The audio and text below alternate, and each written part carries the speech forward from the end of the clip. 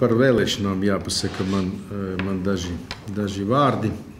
Ja runājam par Latvijā kopumā, bet tas attiecas arī uz Vēnspili, tad arī šīs vēlēšanas apliecināja, un tas jau bija redzēts jau arī iepriekš, ka tie politiskie spēki, kas gāja uz vēlēšanām ar lozungiem cīņu pret kaut ko. Cīņu pret Ušakovu, cīņu tur vēl pret oligarhiem, cīņu pret, ka tie saņem ļoti zemu pilsoniskās sabiedrības atbalstu. Ļoti zemu. Savukārt tie, kas uh, iet uz vēlēšanām par un piedāvā saprotamus, skaidrus, reālus risinājumus uh, attīstībā, nu, tad tiem ir tā izredze gūt pilsoniskās sabiedrības atbalstu. Un, uh, man liekas, ka man tāda maza cerība ir, man gan nav viņa liela, ka kad varbūt tomēr uh, varas partijas īpaši uh, tur Zatera reformu partija un, un vienotība, ka un šī partiju vadošie politiķi beidzot sapratīs, jo vairāk viņi ir pie varas, ka viņiem jāstrādā par, nevis jāstrādā pret un jācīnās pret. Nu, lūk, un, protams, tie, tie vēlēšanu rezultāti uh, rāda, ka valdošās koalīcijas partijas, ja vērtējam pēc tā, cits vērtējums nav, cik šo partiju uh, saraksti ir guvuši absolūto vairākumu. Tas ir uzvarējuši vēlēšanās vienā kādā no 119 pašvaldībām. Tad kopā ja neskaita, protams, nu, dažādas sarežģītas apvienības, kurā ir gan pozīcija, gan nepozīcija, to mēs nevērtējam. Tad vienotība ir, ir pārstāvēta. Ir viens tāds gadījums, vienotībai, reformu partijai viens un Nacionālajai apvienībai četri. Tikai. Tikai. Nu, protams, tas norāda ka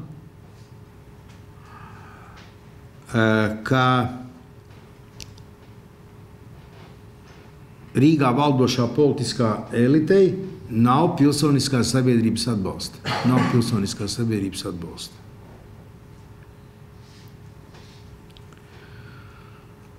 Uh, Zatlers uh, ir izteicies, ka vēlēšana rezultāti ir kā sarkanā brīdinājuma lampiņa vienotībai un premjeram. Bet es domāju, ka vēlēšanu rezultāti ir uh, uh, priekš Zatlera partijas, priekš reformu partijas, uh, tā ir izdegusi lampiņa. Jo kamēr lampiņa deg, tad viņa vismaz kaut kādu gaismu dod, sarkana, vai zaļa, vai zila. Bet Zatlera partijas lampiņa ir izdegusi, to rāda vēlēšanas. Un viņa vairāk nav atvainojama, viņa ir izmetama mēslainē. Un šai ziņā es, protams, piekrītu, piekrītu citu partiju aicinājumam zatleriešiem pašlikvidēties, pašlikvidēties un pievienoties kādiem citiem dzīvot spējīgākiem politiskiem spēkiem. Kur pievienoties? Nu, tas jau ir tā, katra, katra politiķa Jo vairāk, ja tas ir vēlēts politiķis, kurš ir saņēmis kāda pilsoņu kopuma atbalstu, izvēle. Bet Zatlera izdegusī lampiņa, ko sauc par reformu partiju, viņa ir izdegusi un izmetama, bet, protams, ne pie papīriem, nav izmetama, protams, arī tur, kur uh, plasmasa, bet nu, izmetama ir bīstamajos atkritumos bīstamajos atkritumos Zatlera partijas lampiņa izmetama. Savukārt reforma partijas, protams, sarkanā lampiņa, kā saka Zetlers, nu vismaz vēl deg. Vismaz vēl deg. Vienotības, jā, vienotības šī sarkanā lampiņa, kā saka Zetlers, vismaz vēl deg. Jā. Reforma partijas ir izdegusi šī lampiņa. Uh, protams, ka runājot par lielajām pilsētām, Man, man jāsaka, žēl ir kolēģis Kulakovs no Daugopils, kur viņa ļoti neapdomīgi aizskrēja pie, pie sprūģa, domādama, ka, ka sprūģa teikt, šīm te aktivitātēm ir kaut kāds sabiedrības atbalsts. Vēlēšanas parādīja, ka nekāda atbalsta tur nav. Un, un tas, ka mērs, mēra, vadīt, mēra, mēra saraksts nepārvar 5% barjeru, tas, protams, ir nu, ļoti, ļoti vājš rezultāts. Un, un otrs, protams, ko es vēršu uzmanību, ka e, pirms vēlēšanām jūs zinat, e, reformu partija, pirmkārt, Spručs, e, aktīvi mēģināja izspēlēt Latgalē Latgales kārtu. Un, ka mēs redzam, pēc vēlēšanu rezultātiem tas nav devis absolūti nekādu efektu. Vārdstot, Latvijas vēlētāju ar jūdas grašiem nopirkt nevar.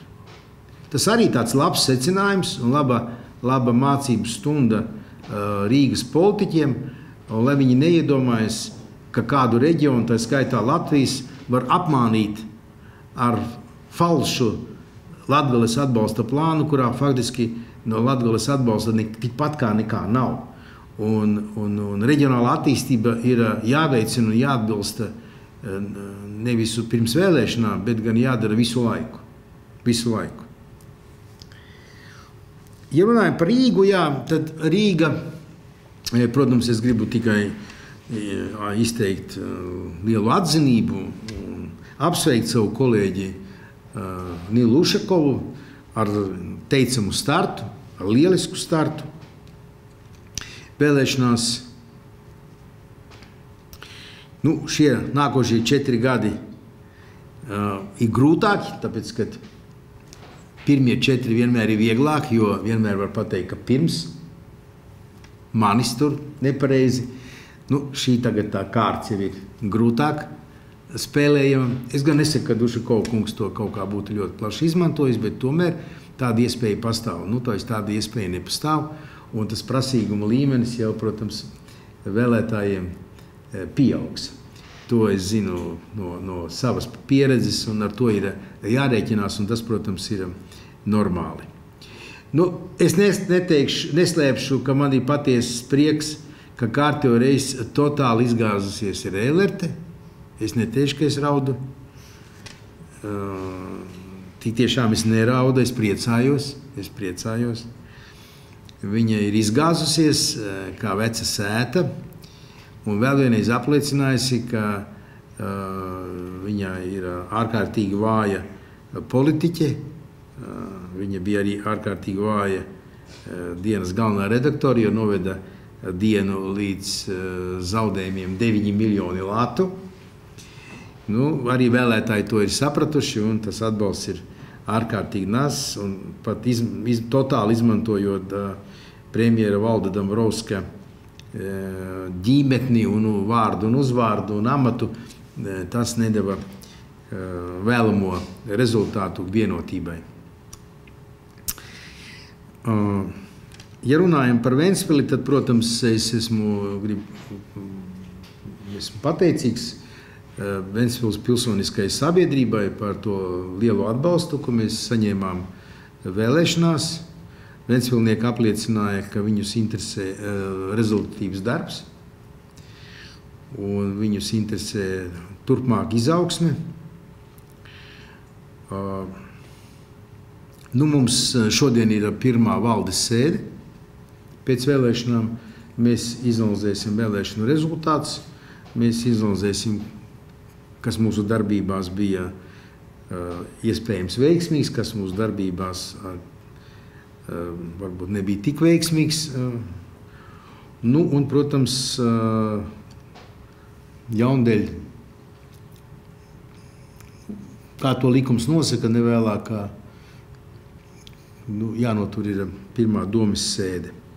Jādomā, kā, kas ir izmaināms, kas ir uzlabojams domas darbā, domas struktūra vienību darbā, komiteja darbā, komisija darbā. Tā kā mēs pie tā šobrīd ķeramies, ņemot vērā uh, vēlēšanu uh, rezultātus. Nu, tas man liekas, ka būtu, būtu galvenais, ko es gribēju pateikt. Jā. Jā, nu es, protams, arī gribētu pateikt arī Ventspilniekiem lielu paldies par, par, par lielu atbalstu arī man personīgi. Jā, tāpēc, ka, nu, tas, tas rezultāts ir, ir, ir tāds, kas nu, uzliek ļoti liels pienākums. Jā. Tā. Labi. Par vēlēšanām varbūt kādu uzreiz jautājumu. Kā jūs vērtējat citu partiju rezultātu Ventspilī? Nu, citu partiju uh, rezultāts. Nu, vienotības rezultāts uh, ļoti precīzi atbilst socioloģiskai prognozei, kā tas bija gaidāms. Plus mīnus daži procenti. Ir skaidri redzams, ka tā reģiona alianse un, un, un, un zatlerieši tad, tad kopā ir kādas balsis atņēmuši saskaņas centram. Tas ir pietiekami skaidri redzams. Uh, nu, un, uh, viņiem bija arī vis tāda naidīgākā un tā negatīvākā kampaņa. Nu, kā mēs redzam, tas dod 10%. Nu, Tas ir apmēram tikpat, cik bija pēdējās saimnes vēlēšanās. Apmēram. Saskaņas centra rezultāts priekš manis ir. Es biju domājis, ka viņiem vairāk būs. Ja? Man tā likās, ka viņiem vajadzētu būt vairāk. Nu, jāpēta par vēlēšanu iecirkņiem, kā tās balsis sadalījušās, lai varētu, varētu kaut ko spriest. Nu, četri saraksti, četras, čet, četras trīs partijas un, un vieni, viena apvienība. Nu, normāli, jā, normāli.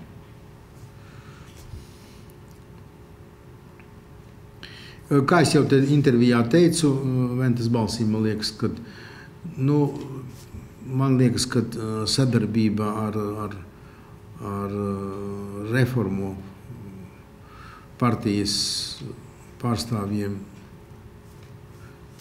Tur es domāju, ka nav iespējams pat cik uh, Landmani uh, vada un diriģē uh, Ostaps Benders oficiālā vārdā, uzvārdā Rudolfs Meroni no Šveices. Uh, savukārt Šafrānskī komandē un, tad, tad, Kazahi, kur, kuriem mums ir domstarpības, kā vides aizsardzības jomā, ka nedrīkst tā piesārņot Vēnspils gaisu un naudu atstāt Astanā, bet uh, putekļus uh, Vēnspilī. Ja, tā, tā neder, neder tāda pieeja.